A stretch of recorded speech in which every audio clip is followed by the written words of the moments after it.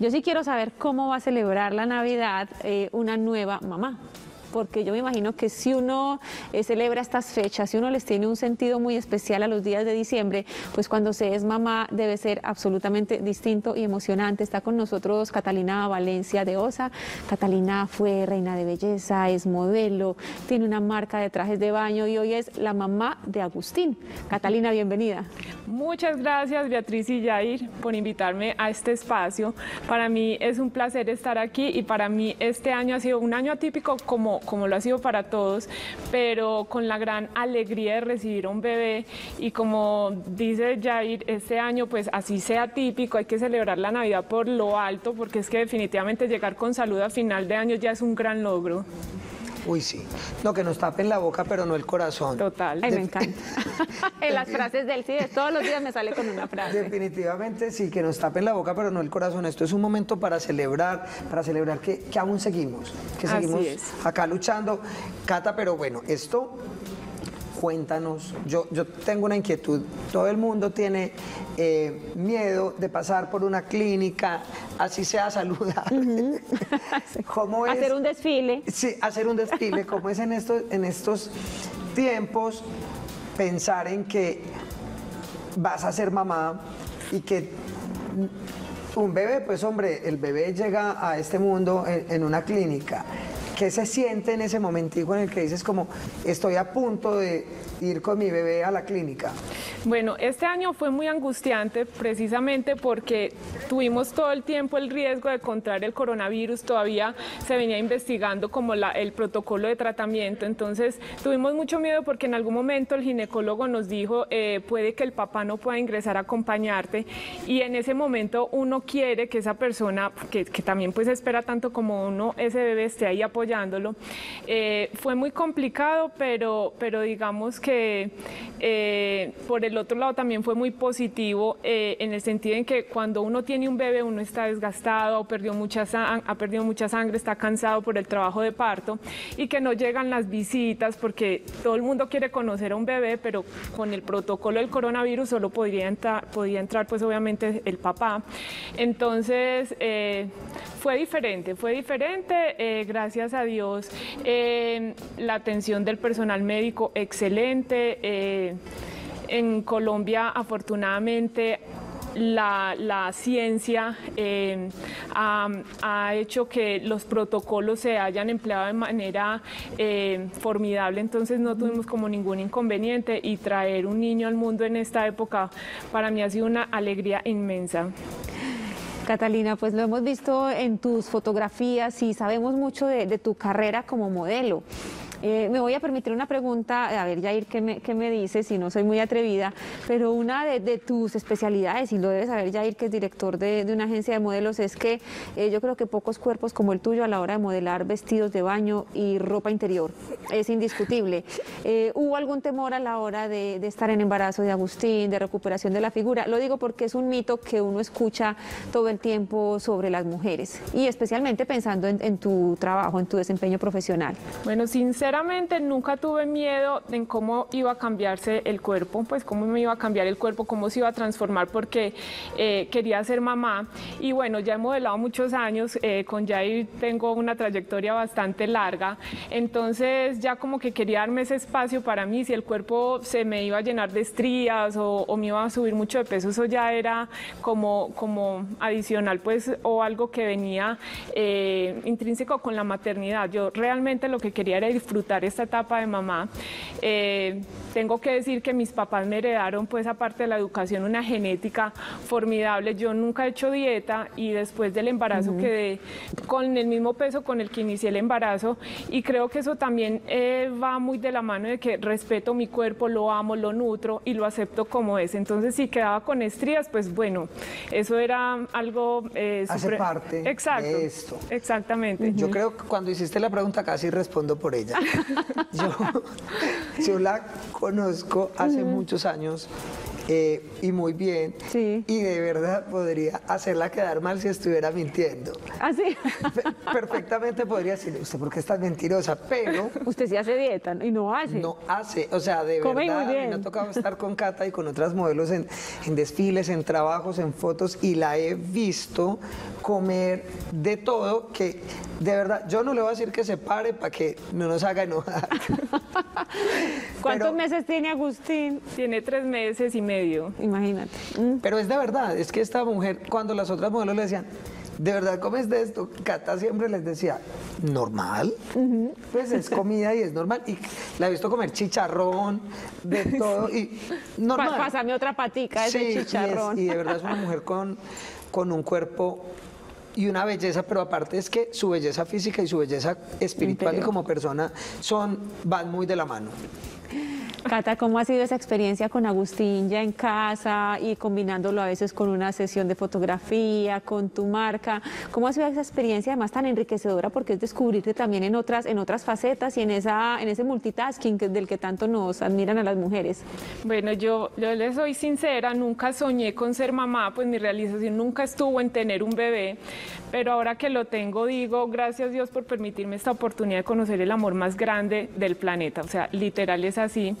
Eh, ser mamá es muy duro, ustedes me ven aquí maquillada, bonita, pero detrás eh, tengo unas ojeras súper marcadas, hay cansancio, sin embargo, eh, eso, o sea, yo siempre he dicho que cuando uno es mamá es un trabajo de tiempo completo, pero no es un sacrificio, porque un sacrificio es cuando entregas con dolor. Uno cuando es mamá entrega con amor. Entonces, la lactancia ha sido muy dura. Ya he contratado tres veces asesora en lactancia porque es dolorosa. Pero creo que, que la satisfacción de tener a mi bebé, de poderme conectar de esa manera con la lactancia, que aparte de la lactancia, pues aquí les, les tiro el dato, ayuda a que uno baje de peso todos esos kilitos que subió en el embarazo. Eh, es, un, es un momento muy bonito porque uno se conecta con ese bebé.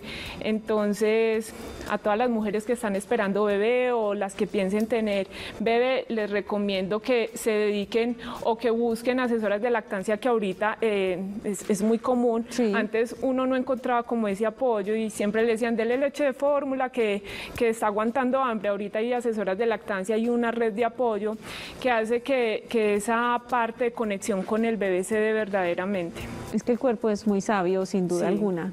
Todo está conectado. Así es. Y volver al trabajo, por ejemplo, Catalina, yo me acuerdo cuando publicaste la- las primeras fotografías de, de tu regreso, eh, que además ella, pues, las primeras fotografías del regreso al trabajo y era en una línea de ropa interior que además pensaba en las mamás también. Así es, eh, al mesecito me salió una campaña, eh, una campaña muy bonita porque iba enfocada a esas mujeres que están lactando, que están en su proceso de, de- de maternidad y es una marca que muestra que la mujer puede seguir siendo bella y sensual a pesar pues de que están en ese estado gestacional. Yo les soy sincera, yo no compré nada de ropa de maternidad porque es que a las mujeres cuando van a ser mamá les venden ropa como si fuera de tía. Eh, pero digamos que ya hay muchas marcas, hay programas como el de ustedes que les enseña a las mujeres que pueden seguir siendo mujeres ante todo, aparte de, de mamás.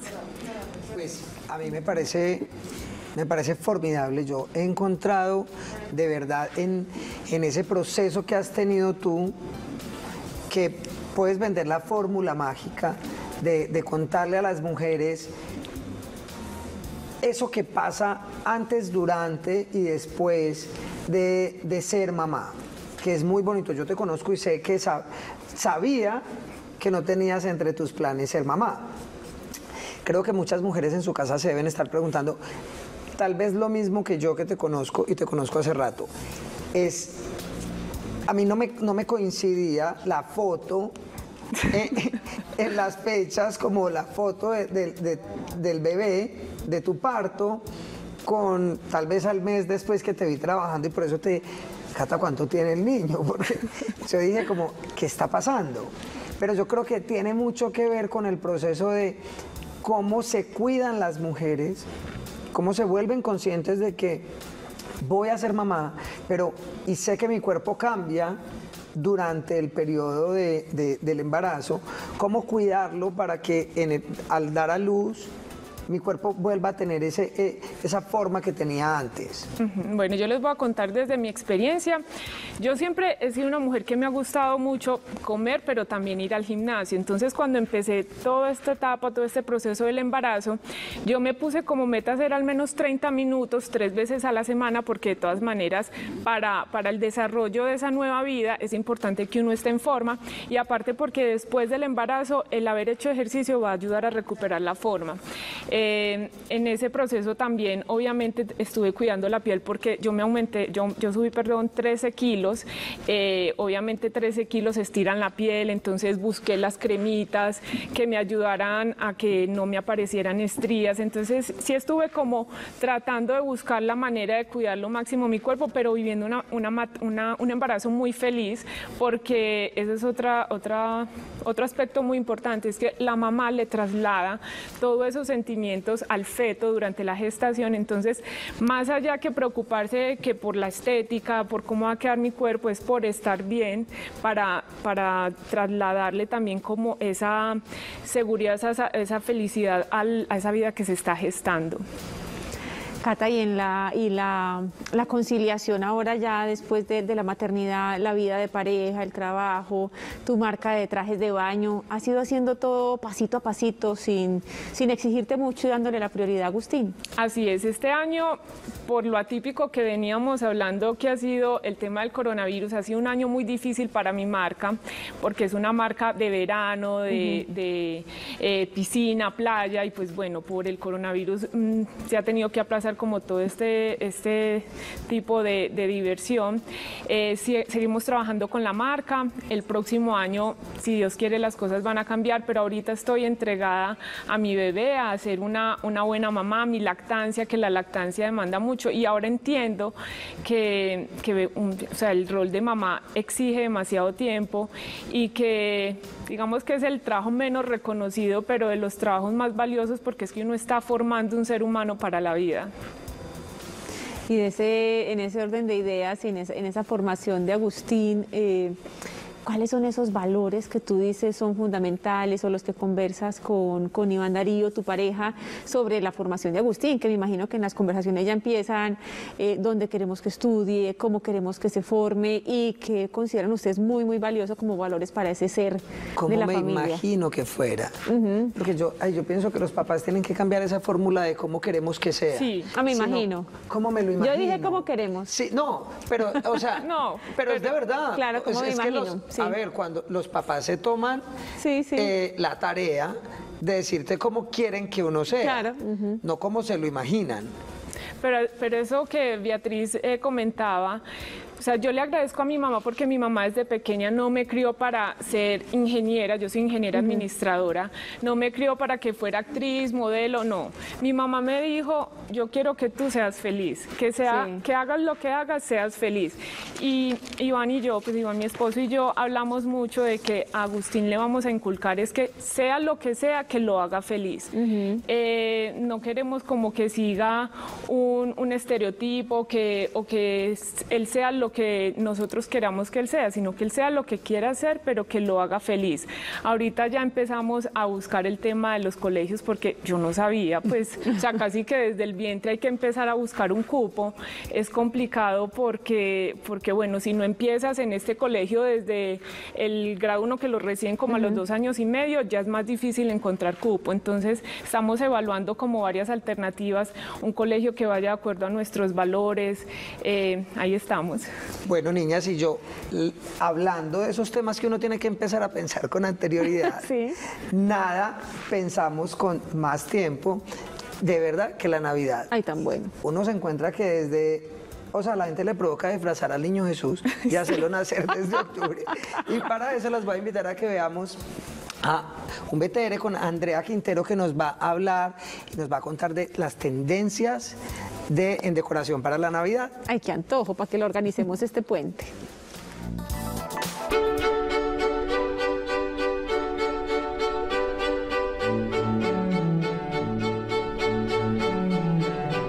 este año, 2020, eh, la Navidad llegó con los colores dorados eh, en cobrizos, llegó con los oro rosa, el rosado, eh, todos estos pues como combinados colores champaña, con los colores champaña y plata. también se sigue usando muchísimo todo lo, la Navidad blanca, la Navidad pues como blanca nevada que se combina con los platas y con los rojos y la Navidad verde pues la tradicional con rojo, dorados y platas.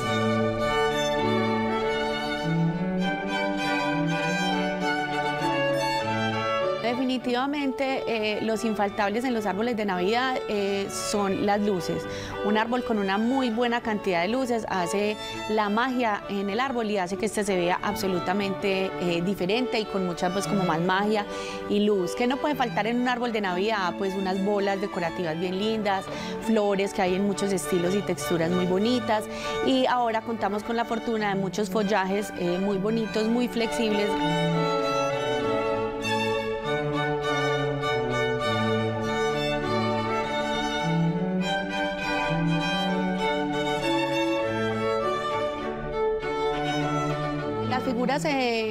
Usando muchísimo también en Navidad, los Papá Noel, los de peluche, eh, pues como las figuras eh, paradas de, hombres de nieves, de Papá Noel, de renos.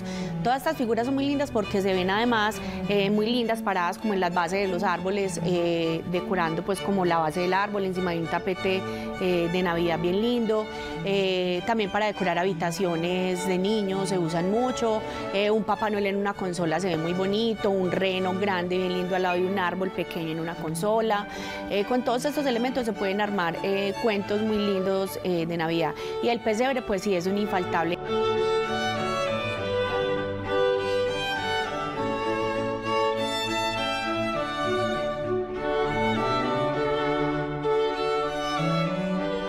También muy chévere tener en la casa una vajilla navideña bien linda o un pocillo bien lindo con un Papá Noel, un plato en el que nos podamos eh, tomar un algo, una media mañana o compartir un café eh, bien rico con las personas que estamos en nuestra casa con un vaso decorativo bien lindo navideño.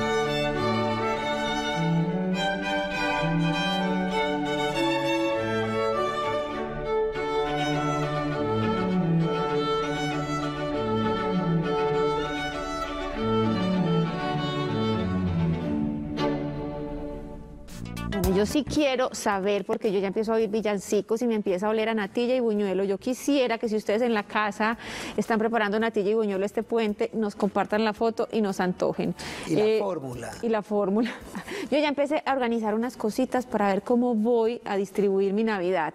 Eh, Cata, ¿cómo está la Navidad? Esa hermosura de Agustín ya tiene gorro navideño.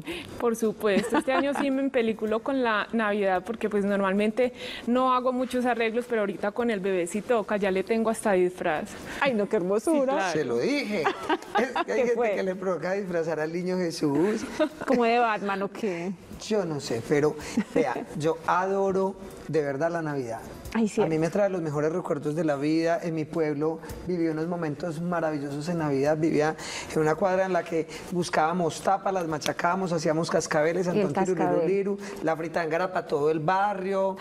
Eh, cuando digo de las recetas de la, de la natilla no es de mentiras, es que hay gente que hace como un arequipe blanco delicioso, hay una natilla blanca, hay, o de coco. Hay de todo. Delicioso. A mí se, me casi me ahogo acá hablando de la natilla, pero yo sí tengo muchas ganas. Vean, que alguien comparezca. Bueno, mira, poder para que para el próximo programa traigamos natilla y buñuelo, ¿listo? Hágale. Eh... Hágale. Hágale. Bueno, pregunta, mm, ustedes, acabamos de ver ahí las tendencias, las propuestas, ustedes se y dicen, bueno, esta vez va a ser toda de renos, o esta vez la quiero toda de, confiticos porque vienen como las inspiraciones, o la quiero de ángeles, ¿qué ideas tienen? Eso, o el color. Pues este año eh, yo, quería ver en Pinterest, me gusta mucho eh, inspirarme ahí, como ver en qué colores viene, hacerla distinta, porque es que siempre verde, roja, entonces de pronto mirar como qué color viene en tendencia. Por ahí vi una rosada que me gustó bastante. Es lindo. Sí. Es que aparte el rosa con el verde se ve, vea. ¿Perdón? Usted es una Navidad muy ah, hermosa. Qué, mujer tan, visionaria. Vea, hay que vestir la casa de alegría, hay que vestir la casa de colores. A mí me fascina que saquen eh, guirnaldas. Que, quepan todas las instalaciones posibles. Todas. Cierto. Yo pues como vivo solo pongo poquitas porque me da mucha pereza después recoger todo eso. Desenredar. Y desempolvar. Bueno, si tú estás preguntando por la fórmula de la natilla, también necesitamos que alguien nos dé la fórmula para que la instalación no se enrede. Uno la guarda muy bien, templadita, y eso sale de la caja vuelta un nudo. Sí. ¿Cierto? O que usted no se pare en el bombillito. que ese sí que chusa y corta. Pero eso era en mi pueblo, ya están saliendo muy distintas las instalaciones. Yo me chuse con uno hasta hace poco. Cata, entonces ya, ya empezaste, empezaste a buscar o vas a aprovechar este puente para ir de compras? Eh, no, este puente hay que empezar a montar la Navidad porque hay muchas cosas que desempolvar y bueno, quién sabe cómo van a ser las novenas, serán por teleconferencia, cómo ir a hacer los villancicos, ¿ah? Con tapabocas. Con tapabocas, ay, porque qué dicha cantar, es que esta época le trae a uno eh, tanta alegría, tantos recuerdos de la infancia, uno come rico, recibe regalos y las luces cambian, las luces de, la casa y, no, y la música, no solo los villancicos, la música música tropical de diciembre es una dicha o no? Yo ya tengo planeado mis regalos, pues los que voy a pedir y... no los que vas a dar. Pues los que voy a dar los tengo más claros, los que ah, voy a pedir, pues sí, le digo a la gente, hace como ya dos años consecutivos atrás, este sería el tercero, en el que Hombre, pues he tenido la fortuna de tener muchas cosas, de recibir muchas cosas durante el año. Entonces, los regalos que pido este año son eh, para hacer una obra de caridad. Excelente. Entonces, a cada persona que me va a dar un regalo, este año todos mis regalos van dirigidos al ancianato de mi pueblo. Ay, me encanta. Yo amo los viejitos. Yo también. Me encantan y, nos necesitan mucho, ¿cierto? Con, sí. Recordarlo siempre. Y más ahora porque han estado muy distanciados, entonces de alguna manera hacerse presentes porque este año fue muy difícil para ellos. Claro, es que es como los estamos cuidando y los estamos protegiendo, pero también, no, es que a mí no me pongan a hablar. Cuenta conmigo. Yo me cojo confianza. a mí no me pongan a hablar porque es que eso también de que es que eh, como, como te cuido no te veo y todo eso. Sí, pero cuenta conmigo, haz la lista de regalos y ahí estamos. Muchas gracias. Y conmigo. Pues muchas gracias y con ustedes. Miren, es diciembre, es eso, esta época, estamos hablando de, es fin de semana de noviembre, pero ya empieza a sentirse diciembre muy cerquita y los adornos navideños que acabamos de ver en esta nota, las tendencias, mm, hagan esto con ilusión, organicen su casa con ilusión, con las personas que viven y guardando todas las, las precauciones posibles, pero organicen la Navidad, enciendan la, la radio y pongan música, pongan Tony Son, nuestros programas de Telemedellín, la viejoteca, pero anímense, empecemos a alegrar el espíritu, que eso es bueno para la salud, para el sistema inmunológico, para el espíritu y para todas las personas con las que vivimos. Eh, hablando de eso, ¿le cantas a Agustín, le lees cuentos como parte de estas nuevas dinámicas de mamá? Desde el vientre le ponía música clásica, todas las mañanas lo despierto, yo le canto, no canto bonito, pero le canto para estimularle el lenguaje y, y sí quiero como que él tenga siempre como esa idea de que levantarse es bonito, entonces que lo despierte una canción, que el dormirse sea algo relajante, entonces entonces le pongo música clásica, la música alegre, lo que sea. Esta mamá está muy hermosa. Ay, qué lindo, ¿cierto? Piensa en todo. Qué vivencia. Eh, regálanos tus redes sociales para que las personas que nos están viendo te sigan, vean esos ejemplos de esas mamás nuevas, de esas mamás jóvenes. Bueno, mis redes son Cata Valencia de Osa, como mi nombre. Ahí les estoy mostrando como mi día a día con Agustín. Eh, si me quieren preguntar cosas, estoy abierta para contarles todo lo que quieran saber. Qué bonito, Cata, compartir contigo. Gracias por haber venido a esta vitrina trendy, pero sobre todo por desmitificar tantas cosas de las mamás, reconocer que tiene sus momentos duros, el tema de la lactancia, los temores. Nos gusta mucho estos momentos y que hayas estado como invitada aquí y compartido esos momentos que estás viviendo con, con tu hermoso Agustín. Muchas gracias por invitarme y de nuevo los felicito porque es un excelente programa de variedades y de tendencia, que eso es lo que nosotras las mujeres nos encanta y también a los hombres, porque aquí muestran de todo.